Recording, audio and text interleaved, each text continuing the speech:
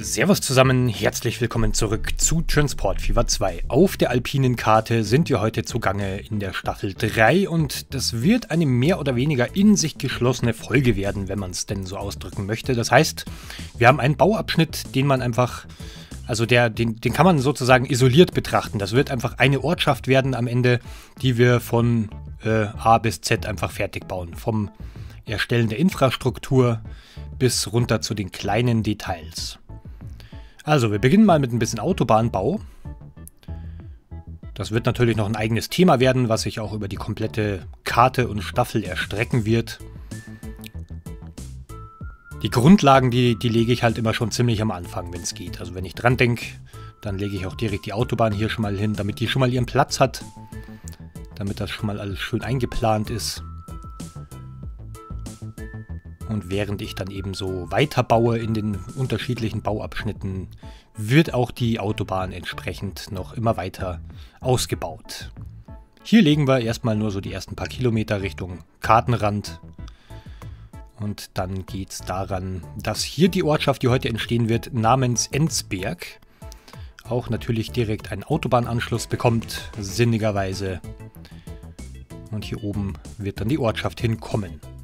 Hier dieses Clifton, das ist halt äh, ja, auf der Karte einfach schon vorhanden, wenn man die Karte installiert und startet. Das reißt man natürlich alles üblicherweise weg und bauen uns das dann selber hin. Und damit ist der Standort auch schon festgelegt. Hier schlängelt sich noch eine Landstraße runter und hier wird dann auch noch eine Autobahn entlang laufen. In irgendeins der anderen der zahlreichen Täler, die wir hier noch zur Verfügung haben auf der neuen Karte. So, erstmal bis hierhin, damit schon mal die grobe Infrastruktur hier ihren Platz gefunden hat. Dann die Gleise, die ihr hier seht, ähm, das war, glaube ich, müsste in der letzten Folge zu sehen gewesen sein, wo ich hier die Gleise den Berg hochgebaut habe. Das baue ich jetzt noch mal ein bisschen um und reserviere mir den Platz dann schon mal für den Bahnübergang. Und dort wird sich dann die Landstraße schön den Berg runterschlängeln. Dann bauen wir die Gleise hier wieder zusammen, damit einfach der Bahnübergang da schon mal seinen Platz gefunden hat. Mit dem werden wir uns dann ein andermal beschäftigen. Dann den Bahnhof habe ich auch schon in der letzten Folge gesetzt und da schließen wir jetzt die Gleise an, beziehungsweise bauen uns das alles eben noch entsprechend um. Hier mit einem weiteren Bahnübergang und in die Richtung wird dann die Hauptstrecke weitergeführt in einer der nächsten Folgen. Auch wieder so im Stile einer Bergstrecke. Aber das werden wir dann auch noch gesondert betrachten. Heute geht es wirklich nur um diese Ortschaft, deswegen bleiben wir auch hier die, direkt noch, bauen uns hier noch ein paar Weichen ein, einfach für ja, höchstmögliche Flexibilität, damit auch alle Bahnsteige erreicht werden können. Dreigleisiger Bahnhof in dem Fall mag ein bisschen übertrieben scheinen, weil es wird eine wirklich überschaubare Ortschaft werden, nicht allzu groß. Aber damit wir auch da ein bisschen Flexibilität drin haben, die Möglichkeit für Durchfahrtgleise und ich denke, das passt schon von der, von der Dimension her. Dann bauen wir noch die restliche Straßeninfrastruktur zusammen. Recht viel mehr wird es nicht werden, also ihr seht selbst, das wird wirklich überschaubar werden, dafür allerdings schön detailreich. Hier ziehen wir uns noch so eine kleine alte Straße den Berg hoch. Und da bauen wir auch noch irgendwas oben drauf, ein kleines Ausflugslokal mit, mit netter Aussicht oder sowas in der Richtung. Hauptsache die Straße liegt hier schon mal. Und dann können wir uns noch überlegen, was wir damit noch irgendwann anstellen werden. Dann legen wir los mit ein bisschen Gebäudesetzung. Vieles davon wird rausgeschnitten aus der Zeitraffer. Immer nur wieder ein paar so kleine Beispiele. Häuserauswahl ist ja wirklich sehr, sehr umfangreich. Das heißt, wir können uns hier richtig austoben. Dann kommt natürlich eine Kirche dazu. Also ein paar so, sagen wir mal, besondere Grundstücke oder so ähm, versuche ich in jeder Ortschaft mit einzubauen. Also in, der, in dem Fall hier habe ich mich für eine Kirche und einen kleinen Friedhof entschieden. Dann kommt noch ein kleiner Fußballplatz dazu. Ein bisschen Gewerbe werden wir ansiedeln. Das eine oder andere Restaurant, damit das halt alles nicht so gleichförmig aussieht. Und ich werde auch versuchen, ein bisschen auf die Bildung zu achten in dieser Folge. Also das kommt immer so ein bisschen zu kurz. Schulen, Universitäten und sowas. Ich versuche mal dran zu denken. So, Friedhofsmauer einmal außen rumgezogen. Hier der Eingangsbereich. Da ziehen wir uns noch einen kleinen Zaun rein. Diese Bogenelemente hier, diese Torbögen finde ich auch hervorragend. Wenn man sich die ganz klein macht, also runter skaliert, die kann man ja in der Größe ändern. Dann kann man die auch schön hier mit diesen Friedhofsmauern kombinieren. Dann gibt es hier noch einen Straßenzugang, also die Zufahrt praktisch. Noch ein bisschen anpinseln, die ganze Geschichte. Grabsteine braucht es natürlich jede Menge. Wir füllen mal den Friedhof auf damit. Auch nach wie vor ein ganz hervorragendes Paket, dieses ganze Kirchen- und Friedhofspaket. Super umfangreich. Wunderbar im Handling, also schön zu benutzen, sehr komfortabel. Dann hier drüben, kleiner Fußballplatz, ist auch so ein bisschen zu kurz gekommen in der letzten Staffel, wurde tatsächlich auch des Öfteren mal angemerkt, dass ja eigentlich schon, also wirklich fast jedes Kuhkaff, sage ich mal, wirklich, also zumindest einen kleinen Fußballplatz irgendwie hat. Und ich versuche das mal zu beachten. Also es wird mehr Fußballplätze einfach geben auf, die, auf dieser Karte. Das Ganze noch kombiniert mit dem kleinen Parkplatz. Da stehen ein paar Altkleidercontainer rum, ein Glascontainer. Dann füllen wir den Parkplatz noch ein bisschen auf. Das ein oder andere Wohnmobil ist hier auch abgestellt. Ein paar Wohnwägen noch dazu. Ein Vereinsheim. Plus Umkleidekabine und vielleicht irgendwie eine Art Geräteschuppen dazu. Also sehr schlicht gehalten. Eine kleine Tribüne noch, die habe ich auch noch gar nicht benutzt stellen wir hier noch dazu. Also irgendwie Kreisliga Süd oder sowas. Keine Ahnung. Sehr reduziert das Ganze. Bisschen rustikaler. Das sind halt die Auswechselbänke, ne? also für, für, die, ja, für die Auswechselspieler, Trainer, Mannschaftsbetreuer und sowas. Dann pinseln wir das Ganze noch an. Und recht viel mehr braucht es auch nicht für so einen kleinen Dorffußballplatz. So, weiter im Programm.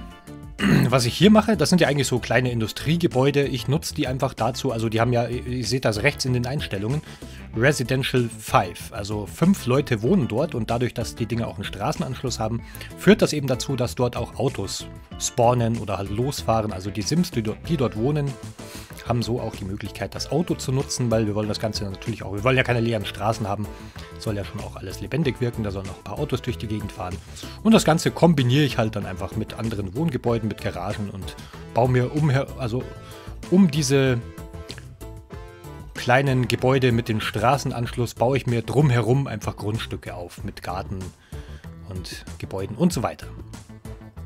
Und das Ganze kombiniert mit allen möglichen anderen Gebäuden und Grundstücken. Hier kommt nochmal eine kleine Wirtschaft in Bahnhofsnähe hin. Und in diesem Bereich hier einfach so ein bisschen Gewerbe. Alte Industriegebäude, die stehen da schon eine ganze Weile rum. Mit der Dekoration aktiviert und dann passt das eigentlich eh schon ganz gut. Passt man sich noch ein bisschen an und dann sieht das nicht so schlecht aus. So, kleiner, naja, Bahnhofsvorplatz, sowas in der Richtung, also so Bus, Busbahnhof halt im weitesten Sinne. Ihr seht schon, das verbiegt mir immer hier so die Straßenkonfiguration. Wenn man sich dann hier oben, man kann es glaube ich einigermaßen erkennen, hoffe ich.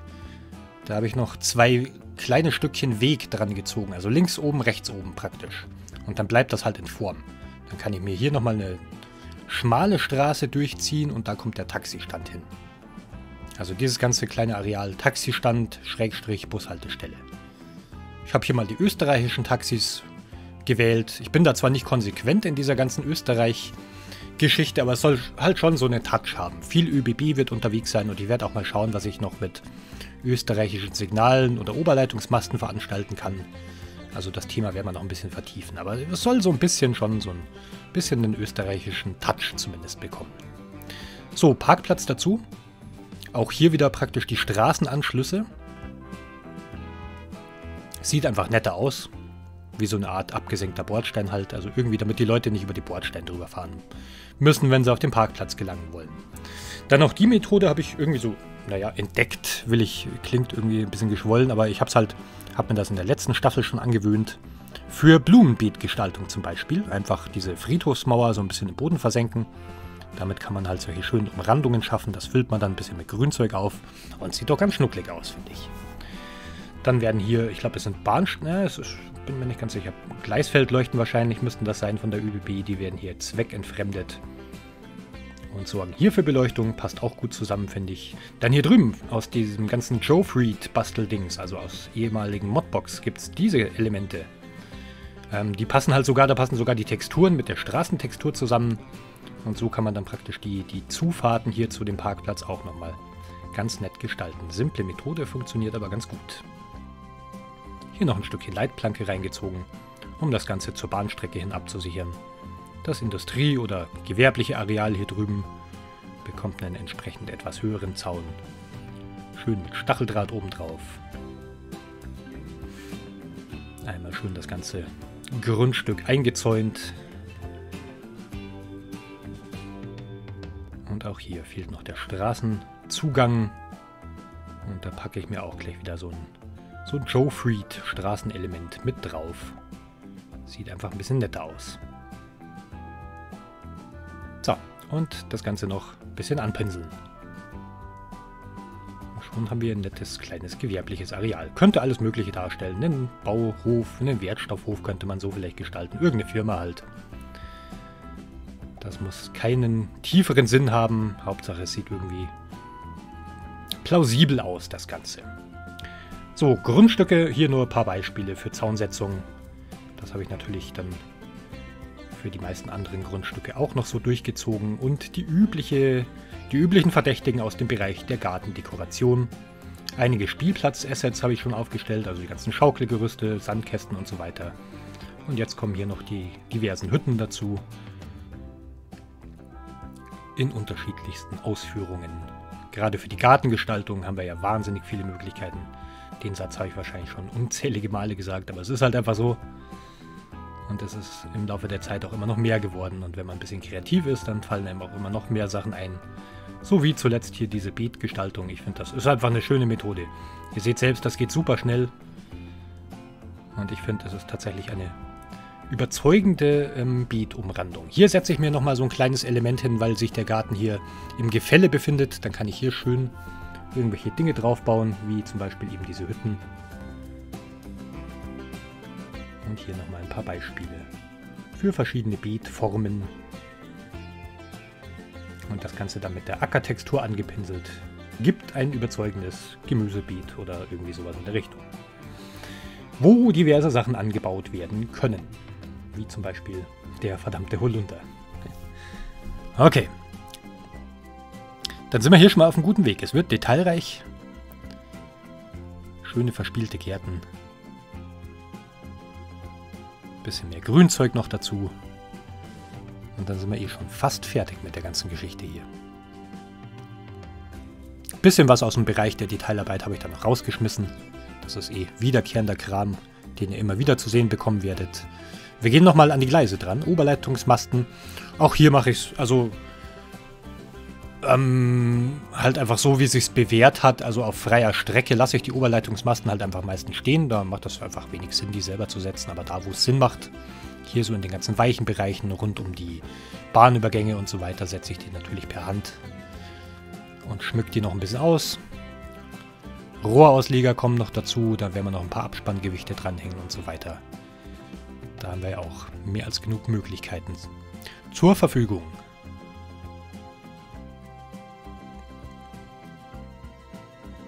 Rohrausleger über ein Gleis. Hier nochmal so ein Haarprofil. Die eignen sich immer sehr gut, um dann da die Abspanngewichte dran zu hängen. Hier schön zu sehen. Zack, Abspanngewichte dran gehängt. Ja, und so wächst und gedeiht die ganze Geschichte hier. Die erste Ortschaft auf freier Strecke. Dann bauen wir hier noch die Schneepflugtafeln an den Bahnübergang dran. Die dürfen natürlich nicht fehlen. Immer zu sehen an Bahnübergängen und an Brücken.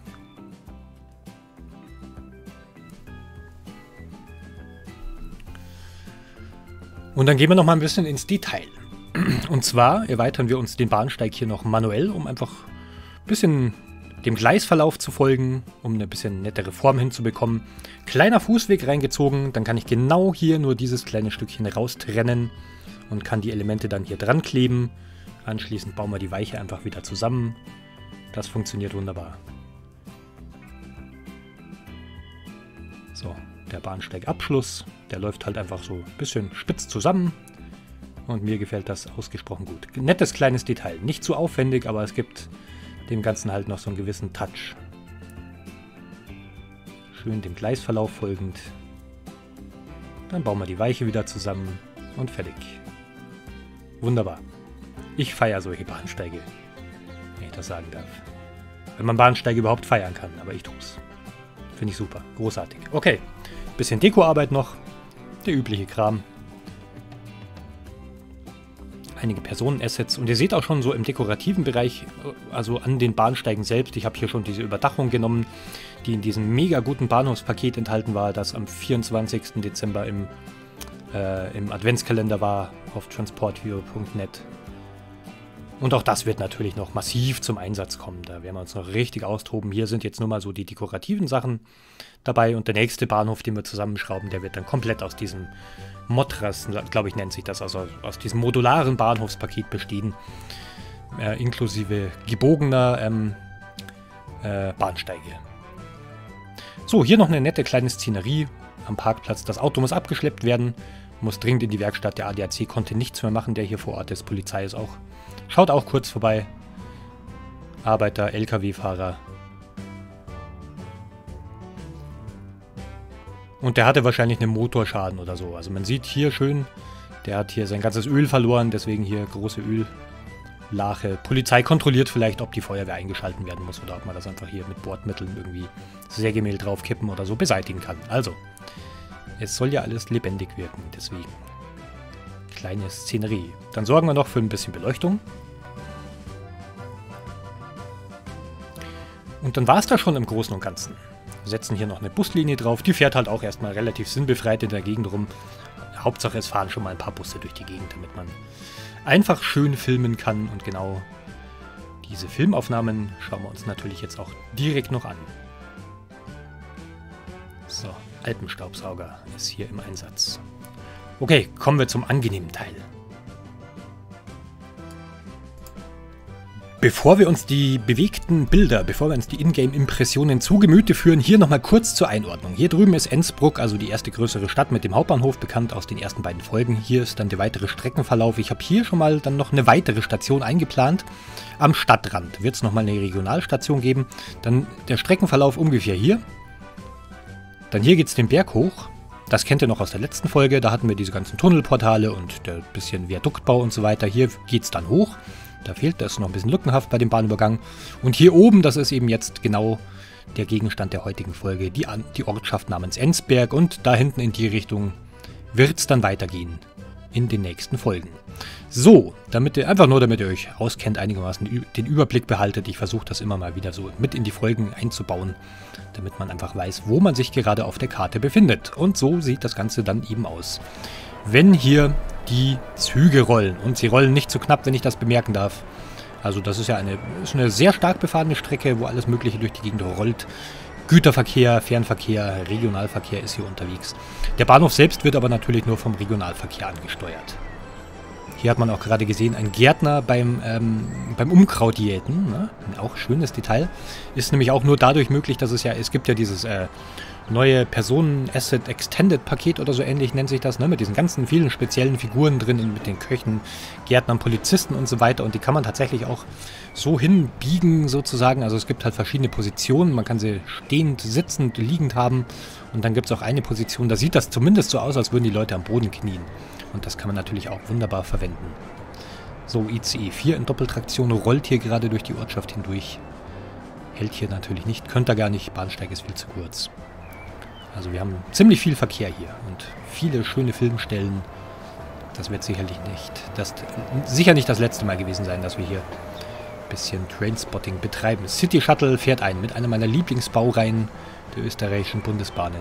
Die L44 Alpenstaubsauger finde ich einfach eine wunderschöne Lok und hat auch ein hervorragendes Soundpaket spendiert bekommen. Wenn diese, wenn die Hydraulik anspringt gleich bei der Abfahrt einfach mal hinhören.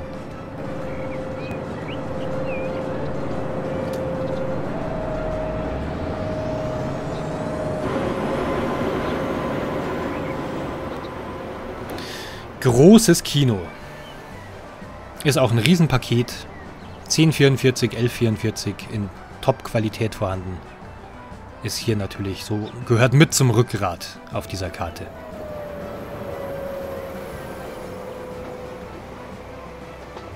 Wunderbar, genau so hatte ich mir das vorgestellt. Schöne Kulisse, schöne Gärten. Und der nächste im Bunde. ÖBB Taurus mit einem bisschen bunter zusammengestellten Intercity. Ob, das, ob der genauso realistisch ist, weiß ich nicht. Ich habe hab Modularwagen genommen, ich habe Eurofima-Wagen genommen und den mal irgendwie so nach Gutdünken zusammengespannt. Und ob das jetzt 100% realistisch ist, sei mal dahingestellt. Ist mir auch egal. Genau so was würde ich, wenn ich eine Modelleisenbahnanlage hätte, da auf der Anlage herumfahren lassen. Das links im Bild der Güterzug, ich glaube, das müssten diese äh, modernen Holztransportwagen sein. Das ist auch so ein ganzes Paket mit ziemlich modernen Güterwagen, alles ziemlich modular. Habe ich auch auf dieser, seit dieser Staffel erst installiert, das Ding. Per Zufall gefunden. Habe ich irgendwie nicht mitbekommen, dass das veröffentlicht wurde. Auch sehr, sehr schön. So, den kennen wir bereits, den hatten wir schon mal. Der ist natürlich auch nach wie vor hier auf der Karte unterwegs.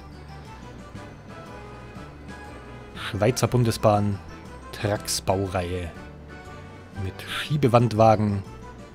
Und aus der anderen Richtung kommt gerade Railjet in Doppeltraktion hier durchgefahren. Ist übrigens reiner Zufall, diese, diese tollen Zugbegegnungen direkt auf Höhe des Bahnhofes. Das hat sich einfach so ergeben. Passiert die ganze Zeit. Also irgendwie hatte ich da einfach ein gutes Händchen, Glück mit dem Timing.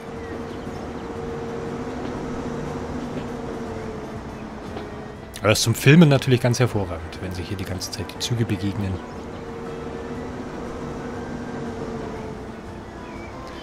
Gefällt mir, gefällt mir, Leute.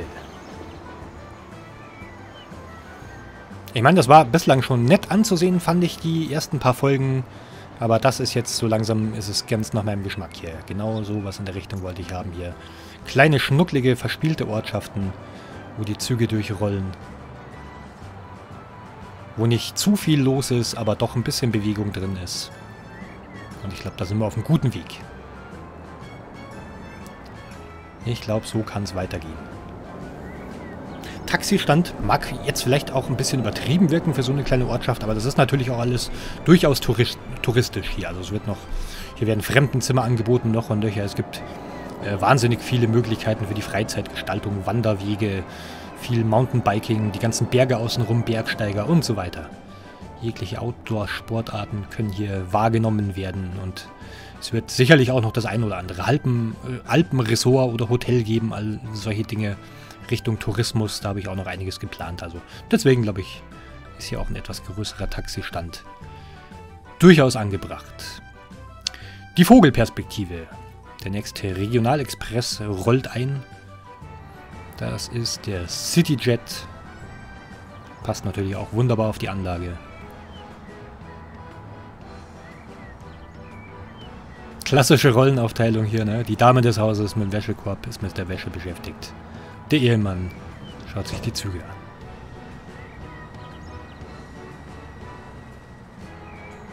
Und die haben ein Hündchen dabei. Okay, es ist ein Fuchs. Aber egal. Hunde gibt's halt nicht. Und ich mag solche Szenen. Ein Exot, fast schon ein Exot. Auch ÖBB Intercity gezogen von der 101. Also natürlich wird auch die B zum Einsatz kommen. Und links und auf Gleis 2 im Bild zu sehen, es gibt mittlerweile auch Snackautomaten. Ich weiß jetzt nur gar nicht, wo die dabei waren. Sind die auch bei dem großen Bahnhofs-Mod-Paket dabei gewesen oder war das was Einzelnes, was ich runtergeladen habe? Weiß ich nicht mehr, aber auf jeden Fall gibt es Snackautomaten. Auch ein wunderbares Detail. Also es wird einfach immer besser. Und das Coole ist ja, dass ich jetzt wirklich schon von Anfang an hier in der neuen Staffel einfach all diese ganzen wahnsinnig guten Mods zur Verfügung habe. Also das hat sich ja in der letzten Staffel alles erst entwickelt und im Laufe der Zeit kamen die ganzen coolen Sachen dazu. Und jetzt haben wir einfach schon eine riesige Auswahl. Also allein die Bahnhofsgestaltung, da weiß ich gar nicht, wo ich anfangen soll. Das ist einfach so viel Zeug. Beginnend bei den ganzen Bahnsteigen, was man damit alles veranstalten kann, bis runter zu den ganzen Dekorationsmöglichkeiten. Wir werden uns hier dermaßen austoben können auf der Karte. Es wird alles verbaut werden, was es in der Richtung geben wird. Oder was es eben gibt in der Richtung. Da könnt ihr euch sicher sein. So, hier, Talent 3. Auf freier Strecke praktisch jetzt hier zum ersten Mal Zwischenhalt als Regionalexpress 31. Hier wird ein bisschen was verladen, nebenbei bemerkt. Rex ist übrigens bei der ÖBB die Abkürzung für Regionalexpress. Deswegen fährt er hier als Rex 31 durch die Gegend. Und im Hintergrund sieht man auch schon den nächsten Zug anrollen. Wir schlüpfen einmal kurz noch für ein paar Meter hier in die Rolle eines Bewohners. Der ist auch unterwegs zum Bahnhof, wird dann mit dem Regionalzug weiterfahren. Wir begleiten ihn ein kleines Stück, kleines Stück, heften uns an seine Fersen und nehmen hier mal kurz die Sim-Perspektive ein.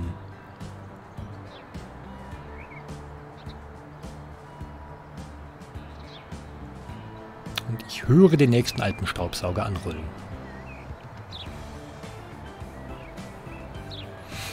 L44 mit ÖBB Doppelstockwagen. Den werden wir nicht mehr erwischen.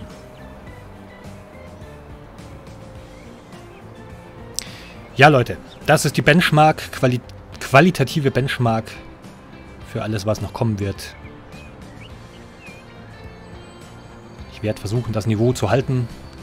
Ich glaube, es wird mir sogar gelingen. Ohne arrogant klingen zu wollen. Aber ich, also ich bin da einfach schon voll drin in der Karte. Das ist wie, heim, wie Heimkommen. Ist noch cool auf der anderen Karte zu filmen, aber da nichts mehr bauen zu müssen, ist auch irgendwie ein Segen, damit mal abschließen zu können. Und hier jetzt mit der ganzen, mit dieser riesigen Mod-Auswahl einfach sich austoben zu können, ich bin voll in meinem Element.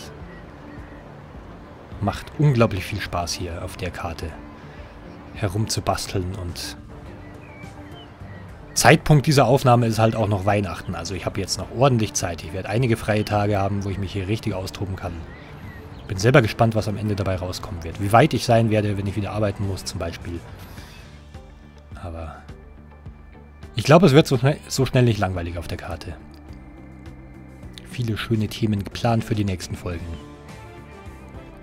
Und ich glaube, wir sind auf einem guten Weg. Etwas erhöhte Perspektive hier nochmal ein bisschen nach unten runter gefilmt. Hier nochmal die Gesamtübersicht. Und ich finde, das fügt sich alles ganz gut zusammen so. Hat eine stimmige Grundform, die Ortschaft insgesamt von der Infrastruktur hin. Hier, der Bahnhof fügt sich gut ein. Ein paar Special-Gebäude. Also einfach alles, was keine Wohngebäude sind. Eben die Kirche plus Friedhof plus kleiner äh, Kreisliga-Fußballplatz ich denke, die Mischung passt schon. Und dann verabschieden wir uns auch hier von der Regionalbahn, die weiterfährt Richtung nächsten Bauabschnitt. Da, dort wird es dann in der nächsten Folge weitergehen. Danke fürs Zuschauen, ich hoffe, es hat euch ein bisschen gefallen und bis zum nächsten Mal. Macht's gut.